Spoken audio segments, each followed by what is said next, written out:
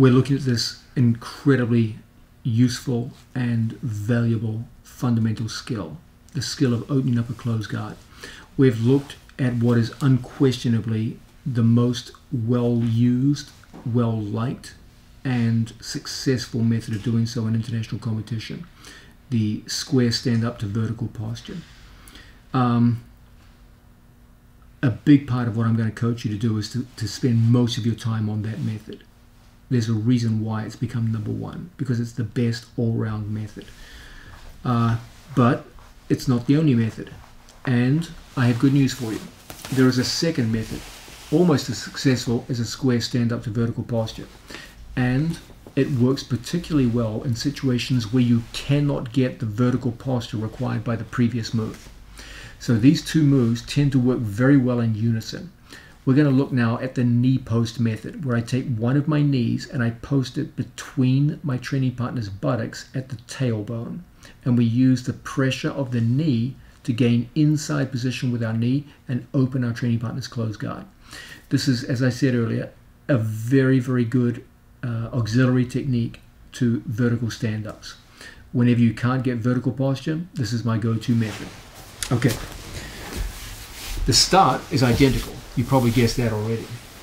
Because we always start down here on two knees, just like so.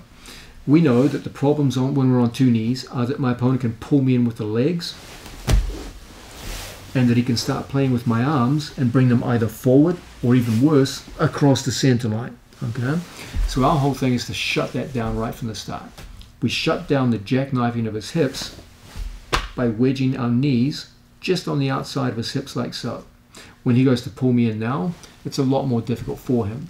The more he goes to pull me in, interestingly, the more exposed his double lapel grip becomes. And from here, double lapel grips put a limit on how far he can move my hands. He can no longer move my hands across the center line. That's potentially the single worst thing that can happen to me in a closed guard is my arms get put across the center line. That's just the absolute worst that can happen. Okay, double lapel grips make that impossible. When he goes to pull the arms across, he's going to have to break the grips first before that can happen. Now, um, it also takes care of the second biggest danger that my opponent can take my hands above his shoulder line and start to expose me in this fashion.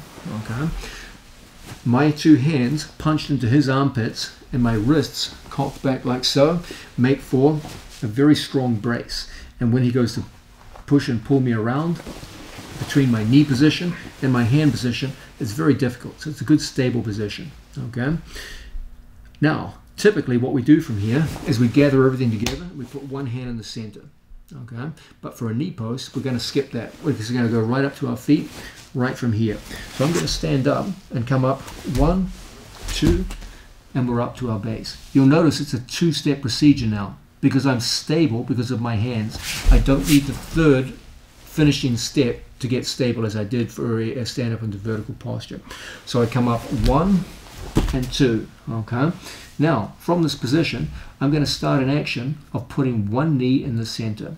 So I'm going to take one knee and put it in just like so. I start an action, my knee typically doesn't start in the center. I flex and bend my hamstring and then watch this trick. My left leg starts walking into alignment. As my left leg goes back, it fits my knee into the proper center position. When my knee is right on his tailbone, that's when I start the action of bending and we put a knee post right in the center that opens my training partner's closed guard. I'm just going to demonstrate this solo one time so you can see what's happening. Okay, we start off with our imaginary opponent. We close our knees, so we wedge his hips. Then we insert double lapel grips, and we come up one, two. Then from here, I walk my knee as close to the center as possible. Often, I use a kind of shuffling step to accomplish this. When I feel my knee is close to the tailbone, then this leg takes over. I step back one, two, three, four, five, as many as it takes until I feel my knee is truly at his tailbone. Once that occurs, we start the action of bending. This knee here thrusts forward and the second leg points outwards. And from here, the guard will split. Occasionally, you will come up against an opponent who is significantly taller than yourself. If this should occur, getting the knee in will be quite easy. but separating his legs may be somewhat more difficult. Don't worry, I will cover this very shortly. Mateus has short legs, so um, it doesn't really apply with him, but I'll show you what to do very soon. Don't worry. So, back to partner training. Mateus has a good grip on my body and we go in and we wedge the hips initially just like so. Now we get double lapel grips. We force the hands down into the armpits like so. When Mateus goes to move and pull me around it's a difficult thing to accomplish okay? Now from here we come up. One and two. Now I work to get my knee in the middle okay I place my knees close together pinching around him and then from here look how I push my knee backwards so that it goes into a good attacking position. Now I start a shuffling action backwards with the second leg. This will start a process of alignment where my knee reaches his tailbone. It becomes very, very hard for my opponent to hold on. At this point, my hands start coming backwards. My hands drift back to the belt, to the pants, even inside the knees. It doesn't really matter. What does matter is that we get our knee in the inside position, the guard is open, and we're ready to start passing. I'm going to demonstrate this for time with our butts facing the camera so you can see the leg position. Okay, we start off wedging the hips, double lapel grip in place. I come up, one and two. Now, initially there's a knee pinch here, then I take my knee and I fit it in behind my training partner's buttocks until I feel it's very close to the center. I step back and I go one, two, three until everything starts lining up.